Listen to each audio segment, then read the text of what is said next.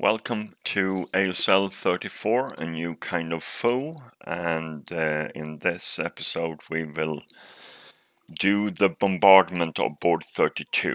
So we need to do some die rolls to determine what hex rows are spared from the bombardment. Uh, I also I can also show you that now it is all set up so I tried with the Soviets to place them in hexes where they will get the minimum effect of the bombardment. So they are in buildings, they are in foxholes, and so on and so forth. With one exception, and that is the hidden gun. Uh, he's in woods, which is a bad thing, but he do have emplacement, so it's still a minus one if he's not spared. So then the Germans uh, looked at this setup and determined that the the big attack will come in on this side because there were fewer Soviet units there. And then the idea on this side is to just scout ahead with mainly with half squads, a few squads in support. Uh, the reason for this is I want these guys to move as quickly as possible. I know I have 11 turns. And then just clear the board like this. Uh, it will become problematic to get over the bridge and the stream. Uh, but I reckon that the force over here is so strong that they can scare away anything.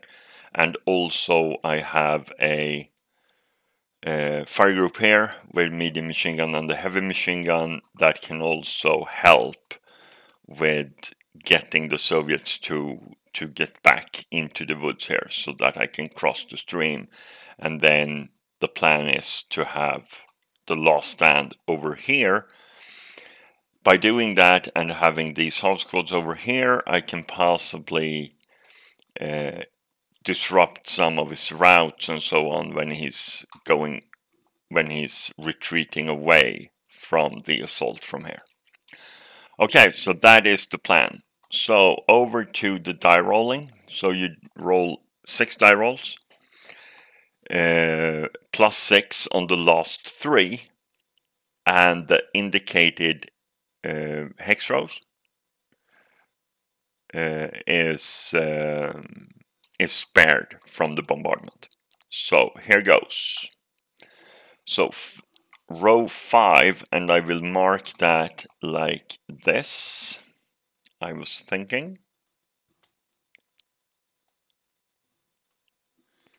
So these guys, they are spared, uh, but it should be up there.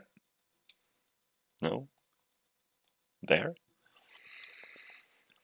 Um, so everything that line crosses will not take a moral check. So next die roll. It's a 1.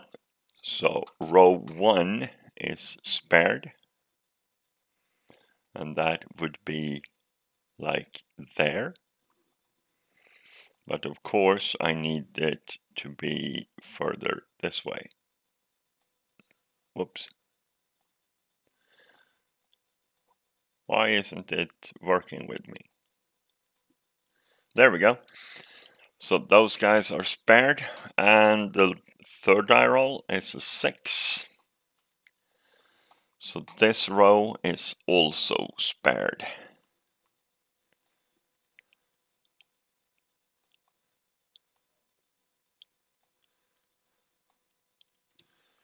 There. Okay, then we have plus 6 on the last three. So that's a 9. So row 9 don't get any bombardment.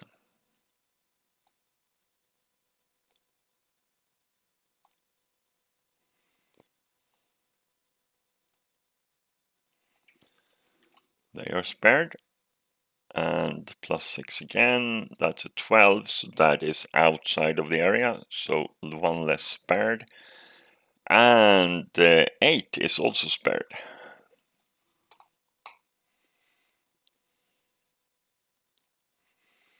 And that would be there. But of course, we need to move it this way. So, that is the spared hexes. So now there is a two morale check for each not spared hex. And to start out, uh, and this is of course other in another way if you play face to face. I will do it as if I was doing it face to face. I got a tip to roll for um, the um, the hidden guys first so that the opponent cannot tell what hex row it will be in. And then I will just go like this uh, hex row by hex row. So uh, here we have a 2MC but it is modified with a minus 1 Plus 2 emplacement becomes a minus 1 dice roll modifier and plus 1 because of the woods. So here's the two morale, uh, one morale check then. And he breaks. So that will uh, take him out on the map and he's broken. Okay, so now uh, I go row A. There is no units there. Also, you roll for building bridges. Uh, then we go uh, row B. There is nothing there. C, building. Okay. So wooden building, morale of 8. Uh, and that is a normal morale check.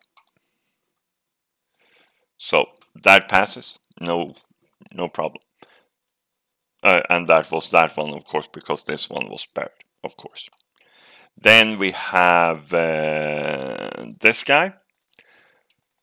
So that's a morale check, but minus two for the wooden building. Uh, but the building takes the morale check first. So first, eight morale check for the building. And the building is rubbled. Uh, so one level of the building will be rubbled. Had this been more than one level, then the top level would have rubbled. In this case, the whole building rubbles and then any occupants die. So we have the first loss for them and we also have uh, rubble uh, in in that hex. So we have a rubble building there. Then we continue and here is not spared, but nobody there, there. This is spared, this is spared, so nothing there. This guy needs to take a morale check, but there is a wooden building, so 8 morale. Building passes, so then it's a morale check for the squad the squad pins. Uh, so that's okay.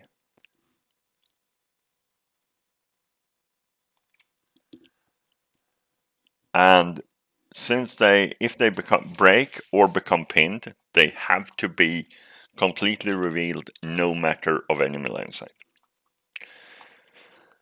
Uh, this one is spared, nothing else down there. Then we go to the next row. Then we have this guy, and he's in the building. So this is a stone building. So that have a morale of 9. So building passes. So then it is a minus 1 morale check for the leader. Passes, and the squad uh, minus 1 becomes pinned uh, So he is revealed and pinned, but the leader is not pinned and still concealed. Uh, next row, uh, nothing, no units, no building or bridges. This one is spared in the next row. Row I, nothing there. J, nothing there. K, uh, he is spared, so nothing there. L, nothing there. M, this is spared. This is not spared, but he's in Marsh, so it's a minus 2 on the 2 morale check, so it's a normal moral check. But he breaks anyway.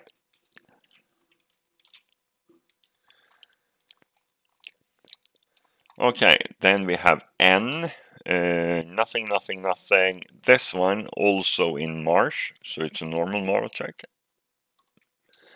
Oh, and that is a heat of battle. Uh, so, uh, plus two for being uh, Soviet, but I don't think it is because it's a partisan, so it's only plus one for being partisan. So plus one on heat of battle, and that is 12, so he is disrupted.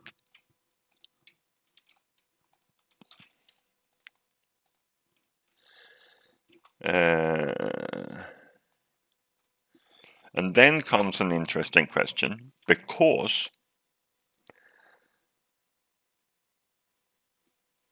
uh, it says that if you fail a uh, morale check and roll doubles less than 12, then you also get casualty reduction. So then it has to be determined if uh, breaking due to a heat of battle dice roll indicates you have failed the morale check or if it doesn't. But for now, I will leave it at that uh, and I will check with higher authorities on this and see what they say. All right, so then we have row P. He's in Marsh, so it's a normal morale check and he's pinned so he loses concealment. Uh, row Q, he's in spared hex, so nothing else. R, nobody there. S, uh, spared. U, spared. Uh, but we do have a bridge there, so 9 morale. He's good, or the bridge is good anyway. Then we have nothing, uh, we have nothing, we have nothing, but this guy needs to take a morale check and then he have a minus one on the morale check because it's uh, minus four for Foxhole, uh, plus two, two morale check, plus one Woods, so a minus one morale check. So he's good. And finally, we have this guy, and he's actually in the building. So the building first, 8 morale, passes, and then the squad, normal morale check for the leader. Leader breaks, and the squad uh, is pinned, and therefore they lose concealment and then the squad don't need to take a leader loss morale check because he is already pinned. Alright, so that is the bombardment for the game. So this is what the Germans are up against. We can delete those.